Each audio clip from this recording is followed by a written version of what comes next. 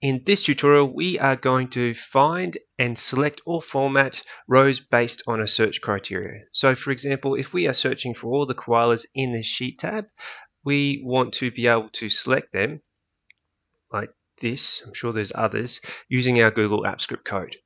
To play along, you can grab the sheet in a link in the description below. Pause now, grab that link, get it open and ready to go, and then come back to this tutorial and we'll get started.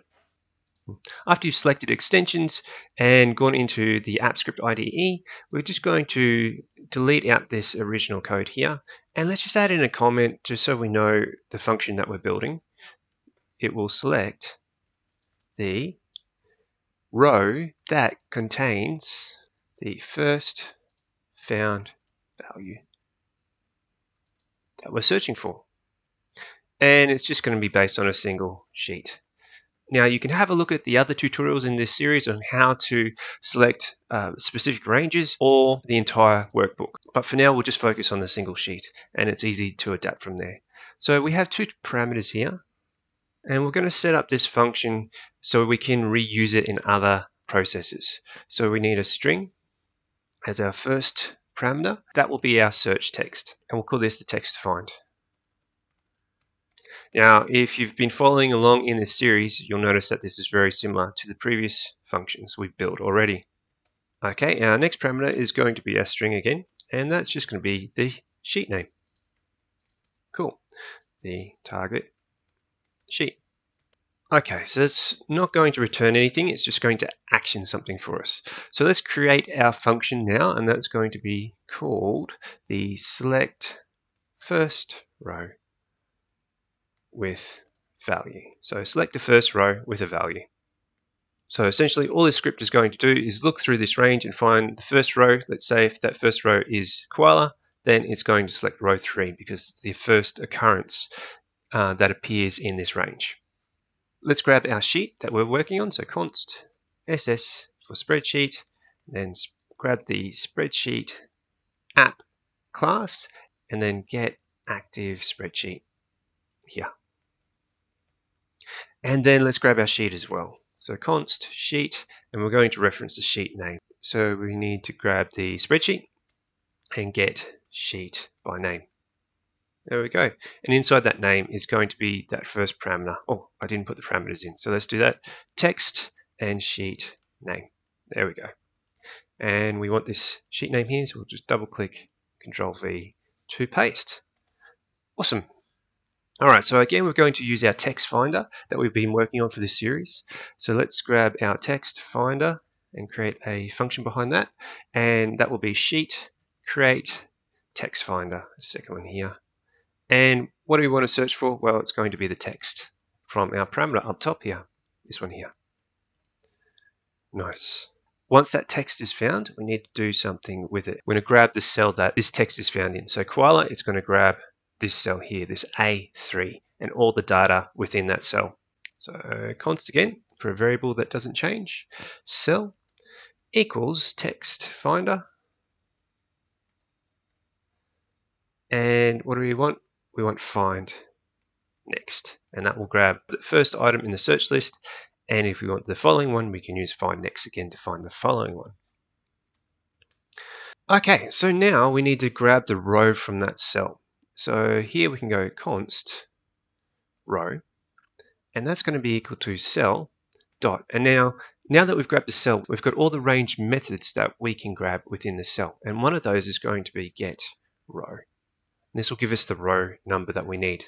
Last thing we need to do here is grab sheet. So we're going to grab the sheet here and apply two methods to it. The first one is going to be the get range method, and that'll allow us to grab the entire row range. So this one here that goes all the way across to Z at the moment, or Z for my American friends. So get range, and let's just make it easy. We'll put it in A1 notation. So A1 notation is, for example, A3. That's A1 notations. D7. Okay, and uh, if we do a range, we separate it by a colon. So let's use backticks here and we'll go A, and then we'll insert a variable, which is going to be our row number. So row.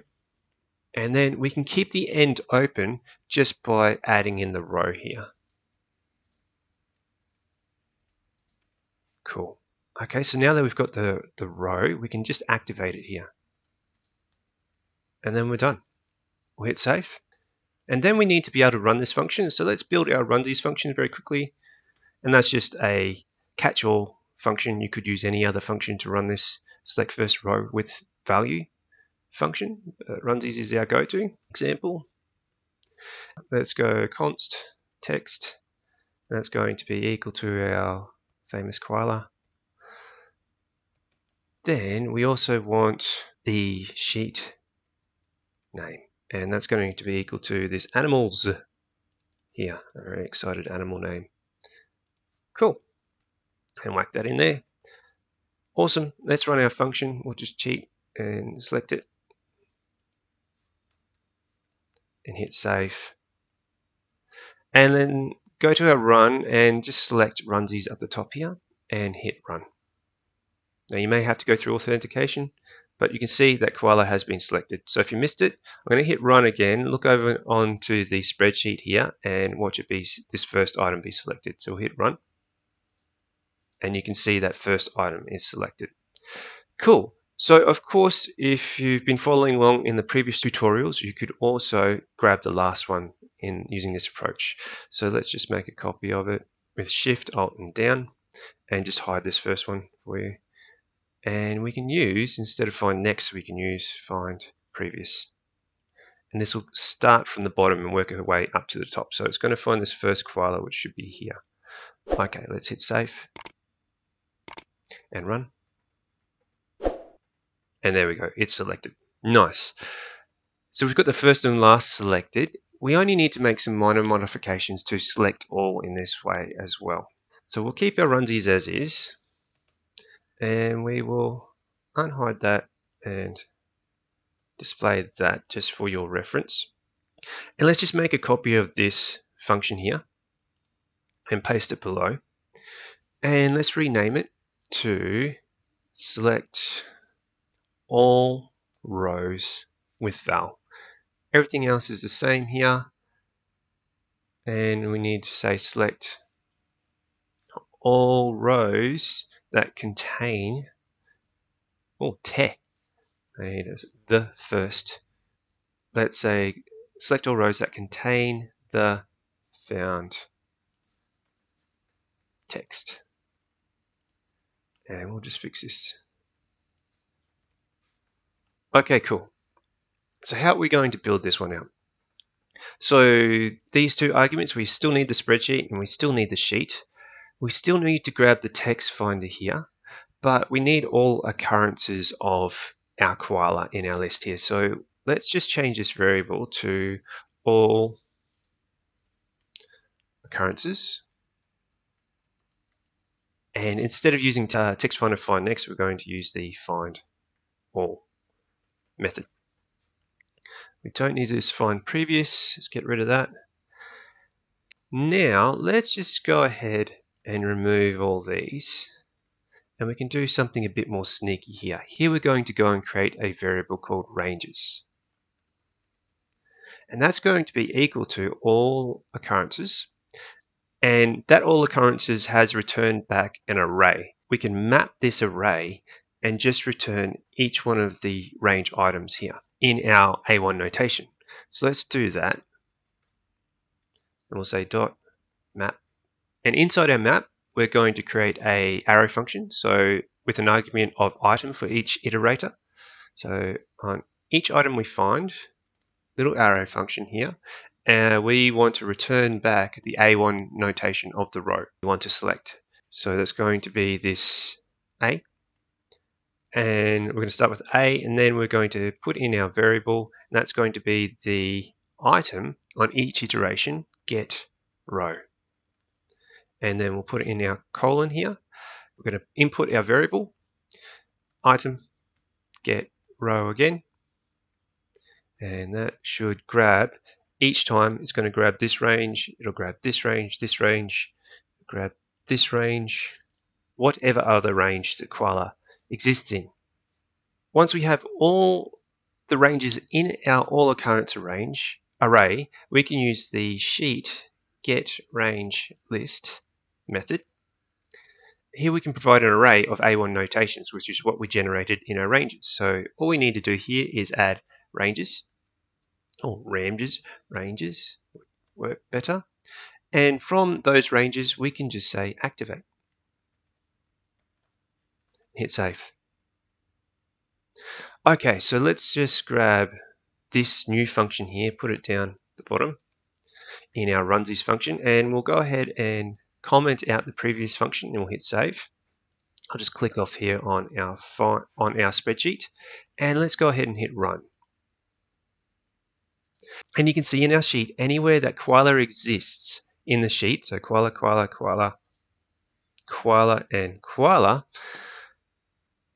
those rows have been activated. So we could apply something to all those rows. So if I click back over into the sheet tab here, if I hit Control B, that's going to bold all those rows.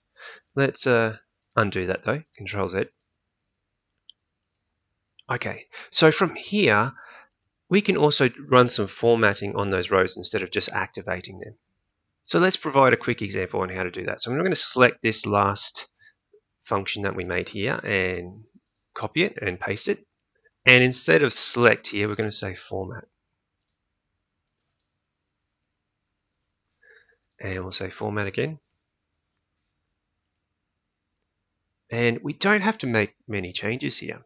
So after our get range list down the bottom here, this is the only change we have to make. So instead of activate, we can just add in a bunch of formatting rules.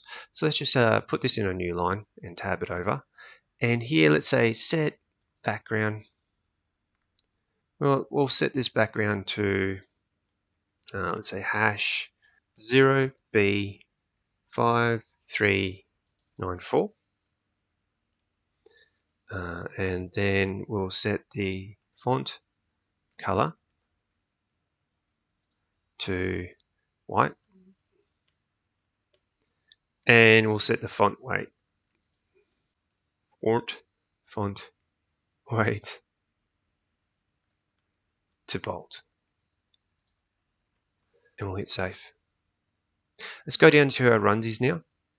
And we won't do this on this animal selection here. We'll use it on our animals format. So let's just create a new variable called sheet name 1 and that's going to be equal to this new sheet tab which is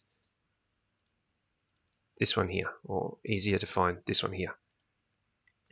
Cool.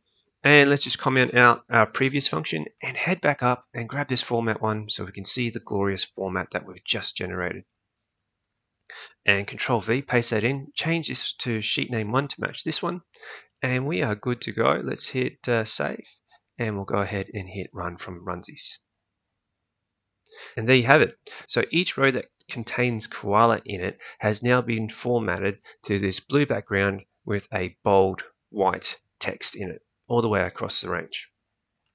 Of course, you can modify the range to get last uh, last data range so that it would end at F here. I'll leave that in your hands to experiment and play with. In our next tutorial, we are going to modify this script again to hide and unhide selected rows based on our search value. If you've enjoyed this tutorial, please hit that like button. And if you want to see more tutorials like this, please subscribe and smash that notification bell. Until next time.